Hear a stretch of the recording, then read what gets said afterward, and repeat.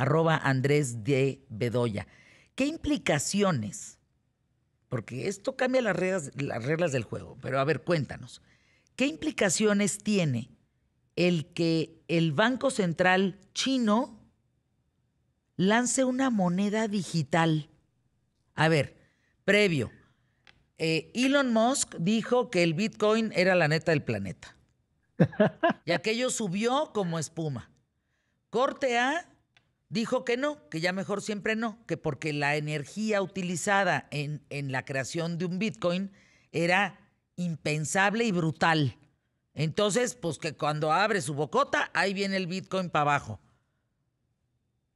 ese es el antecedente inmediato. Ahora hablamos Exactamente. de, a ver, cuéntanos, por favor, porque esto tiene que ver con pagos internacionales, ¿eh? Exactamente, es que se puso incluso más complejo, porque aparte de lo que ha pasado con Bitcoin esta última semana por los comentarios de Elon Musk, también esta semana anuncia China que es ilegal minar Bitcoins en China. Entonces teníamos unas empresas que eran mineras de Bitcoins muy grandes en China que ya no pueden operar y esto entonces suma a, el, eh, a la baja en el precio del Bitcoin internacionalmente. Pero más interesante que eso es que al mismo tiempo que China dice que las Bitcoins son ilegales en, eh, en el país, lanza y empieza ya a probar con sus ciudadanos su propia moneda digital. Ahora, esto hay, hay, hay, hay, debates, porque mucha gente le dice el cripto yuan, o sea, la moneda china se llama el yuan, y le dicen el cripto yuan, pero realmente no le podemos llamar a una moneda que lanza el Banco Central chino una criptomoneda, porque uno de los elementos más importantes de las criptomonedas es la descentralización justamente que la información no, no, sea una persona o una, un gobierno dueño de esa información. Y aquí, pues sí será el gobierno de China quien sea dueño, de esa información.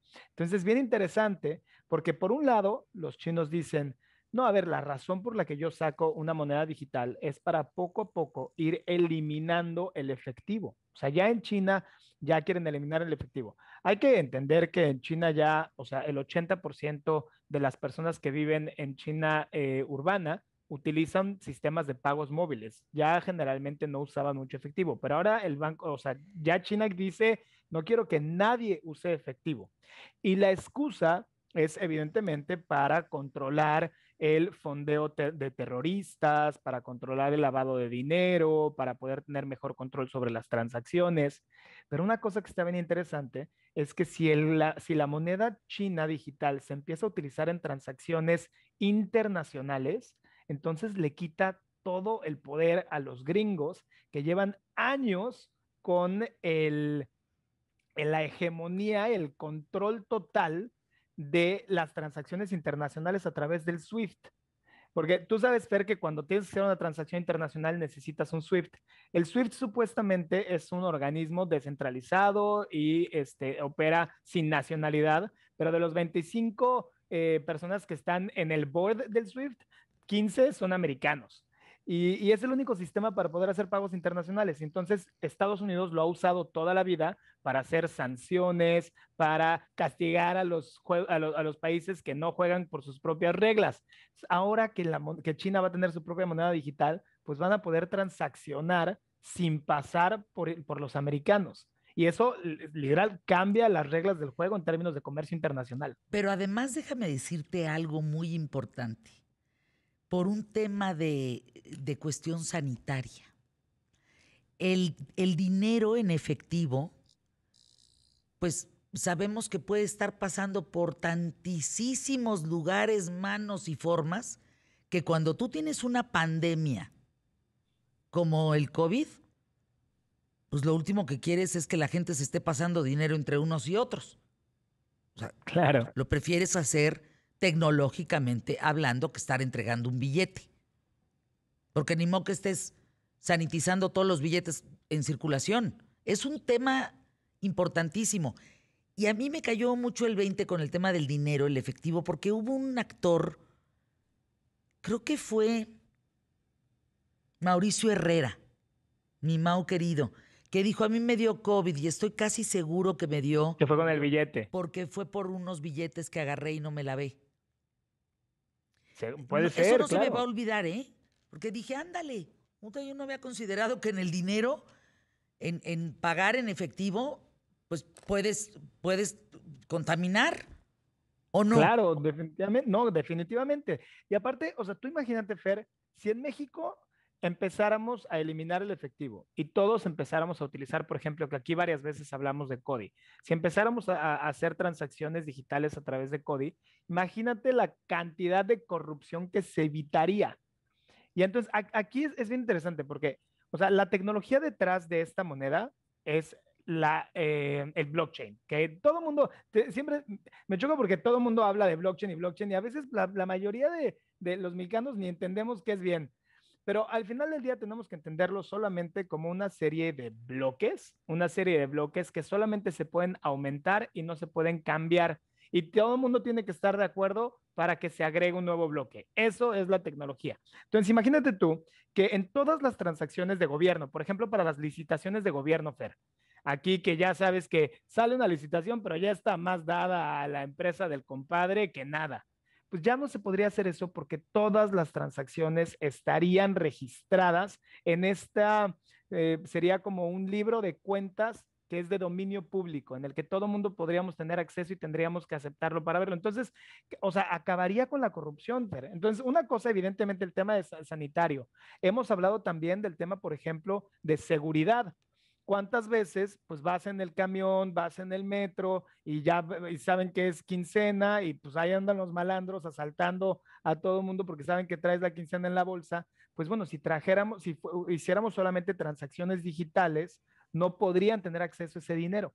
Entonces, imagina todas las cosas positivas que trae la digitalización de, eh, del dinero. Y aparte este tema que, comentaste tú de eh, lo que cuesta minar las criptomonedas, se hizo un estudio justamente después de que, Elon Musk dijera que este, no sabía lo mucho que contaminaban, que el sistema de minar blockchain o minar criptomonedas eh, produce el 5% de contaminantes de lo que produce el sistema financiero tradicional, o sea, los bancos tradicionales. ¿Qué datos, Andrés? Eh, eh, ¿Cuándo habíamos pensado que quizá el futuro es evidentemente sin, sin dinero eh, físico, sin billetes, sin circulante, pues, que todo sea transacciones eh, tecnológicamente viables. Ahora, también es increíble, porque el otro día platicábamos que han bajado los robos, ¿no? De, de, de, de transeúntes. Sí, pero ¿cómo han, cómo han incrementado los robos de cuentas y de hackeos y de, y de todo esto de suplantación de identidad y demás en redes? No, definitivamente. ¿Sabes Por la tecnología. México es el lugar en el que más fraudes en comercio electrónico hay del mundo.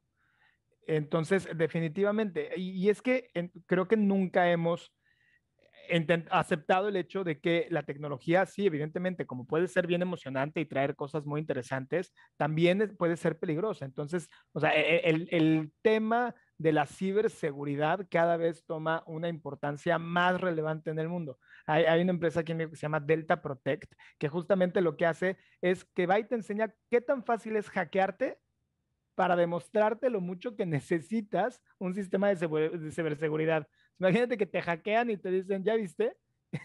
Ve cómo necesitas un sistema de ciberseguridad para poder controlar que esto no te pase. Y bueno, eh, sí sabes que tengo esta empresa que se llama Forward y que hay un grupo de expertos chavos que trabajan en las más de 40 páginas que manejamos, en todo el sistema de crisis que, que atendemos, en fin, eh, todo lo que promocionamos y todas las campañas que hacemos. Estos chavos te hackean en cuestión de un minuto. Así. Lo, es, muy fácil. Bueno, si tú estuvieras aquí al lado de mí, yo te meto ahorita aquí, estando sentado junto a mí, un sustazo en tu teléfono. Yo. Imagínate. Definitivamente, sí tenemos que tener muchísimo cuidado. Pero, creo que sí, Fer, por ejemplo, esta tecnología, la tecnología blockchain, a diferencia de, por ejemplo, solamente una cartera digital regular, eh, sí permite muchísima más seguridad. Eh, porque al final del día, como te decía, eh, uno de los elementos más importantes de las criptomonedas es la criptografía, que es... ¿Ya lo perdimos? La criptografía. Te friseaste, se, te fue. Nada más dinos, no, es que ya no nos va a dar tiempo. Para la próxima semana de plano con Andrés Díaz Bedoya, la cripto, ¿qué dijo? Cripto... ¿Qué dijiste, Bedoya? No le entendimos nada, pero es arroba Andrés de Bedoya, que se quedó completamente pasmado. Se cayó internet ¿eh? en este momento. A nosotros en imagen se nos cayó internet. Él está perfecto. Pero entonces, bueno, ya no nos va a dar tiempo. Hasta la próxima semana. Andrés de Bedoya.